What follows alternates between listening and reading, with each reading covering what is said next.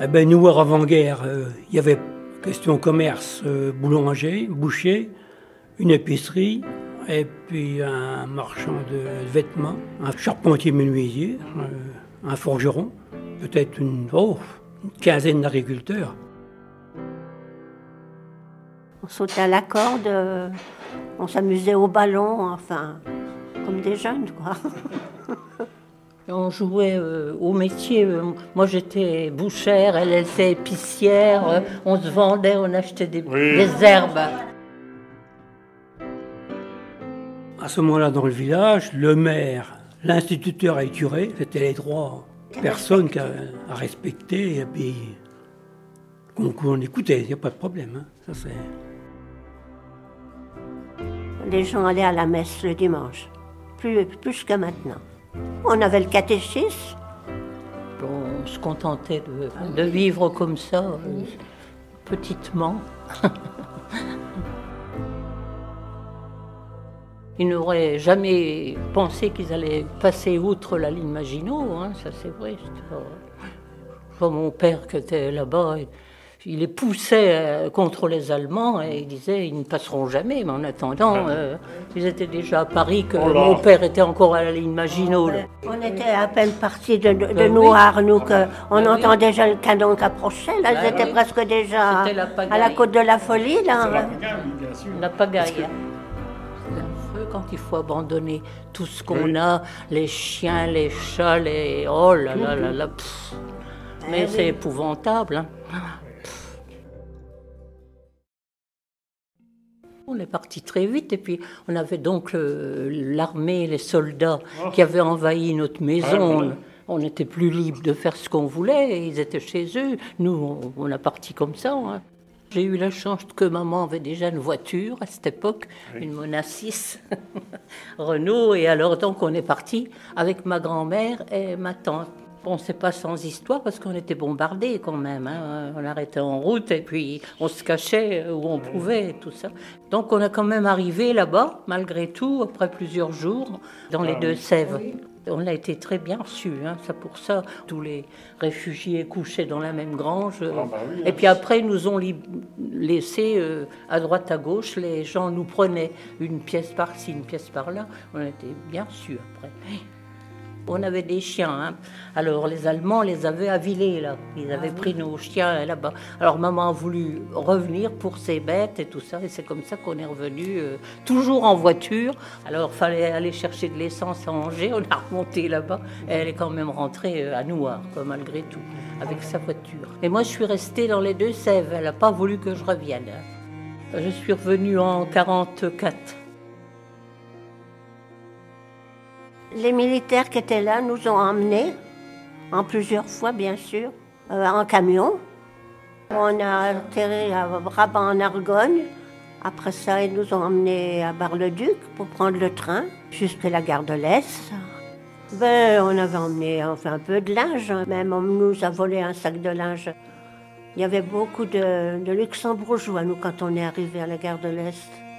Après ça, on est parti à la gare Montparnasse pour la Bretagne et on a été accueillis à Dole de Bretagne.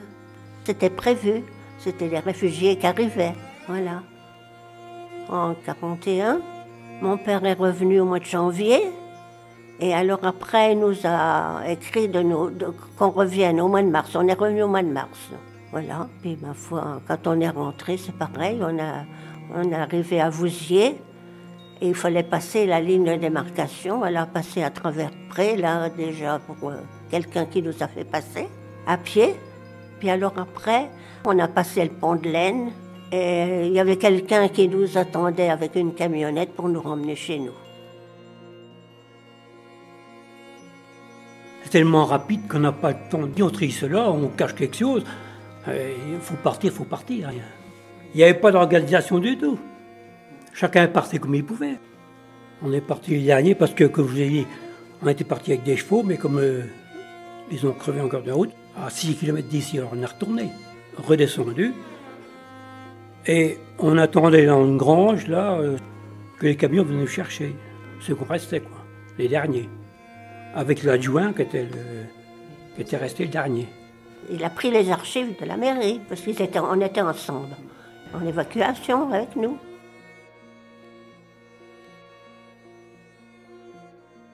Quand on est parti, il y avait déjà eu des, bombardements aux alentours du village, mais pas sur le village encore. Alors on est parti donc euh, sur Bar-le-Duc, dirigé en Bretagne, à Roux-sur-Quesnon, tout près du Mont-Saint-Michel. On y est passé là l'été. Mon père était revenu avec nous. Et puis il est revenu faire un tour, chercher les papiers pour pouvoir rentrer. Et au mois de février, on est rentré à Noir. J'ai été obligé de travailler pour la VOL parce que pour pouvoir rester là. On est parti, il y avait des, Belges qui étaient couchés chez nous. Nous, on est parti, on les a laissés coucher. Hein. Je sais pas, on n'a même pas fermé la porte puisqu'ils étaient là.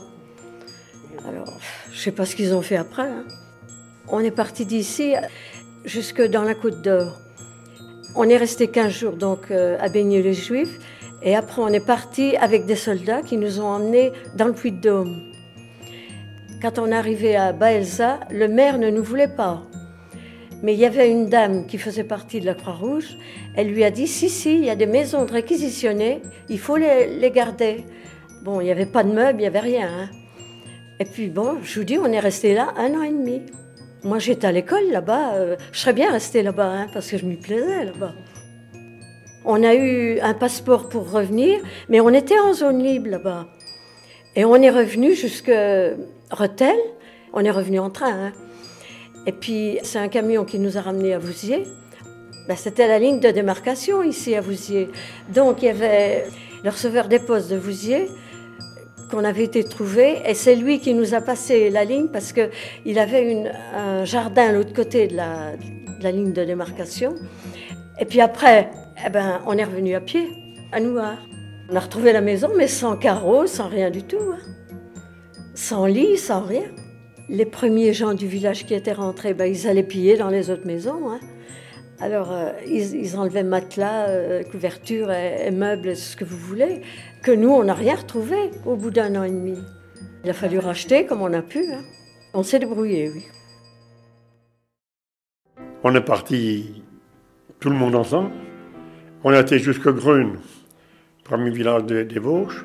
Qu'est-ce qu'on a fait? On a, resté là. Deux jours après, on est rentré chez nous. On a trouvé tout le monde prêt, les maisons vides moitié cassé. Ah.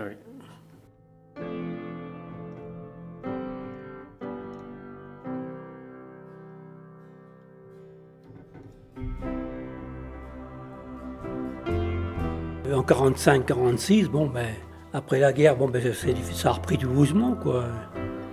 Mais il y avait quand même euh, un tiers du village qui était détruit quand même.